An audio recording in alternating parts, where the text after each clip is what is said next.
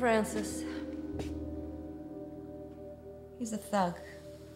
Smart, but he's still a thug. Don't cower to him.